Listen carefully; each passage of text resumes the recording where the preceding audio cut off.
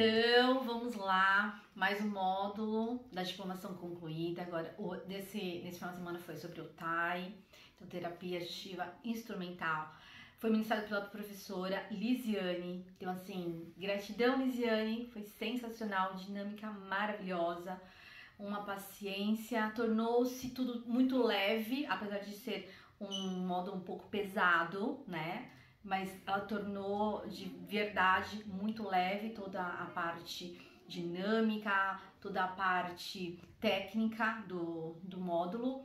Então fica a dica para você que quer realmente diplomar na quiropraxia. A quiropraxia não é só um cursinho. Então é isso, gente. Fica a dica. Professora Lisiane, gratidão. Muito obrigada. Já bateu.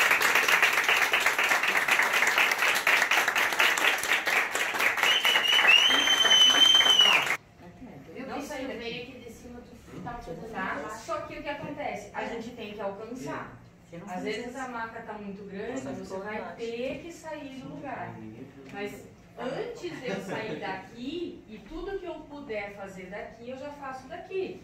Tá? Ó, eu vou lá, lombar, volto. Ou eu vou lombar lá, volto. Por quê? Eu, o meu lote de ajuste já é daqui. A gente não ajusta todas as, as vértebras com o LOD superior? Tá? Então, se eu começar a dançar, daqui a pouco eu venho aqui para que lado que era. Aí eu já estou aqui. Então, tudo que eu conseguir fazer daqui do pé do paciente já, já facilita o meu LOD. São algumas situações que a gente vai ter que inverter posição. Mais fácil normalmente daqui.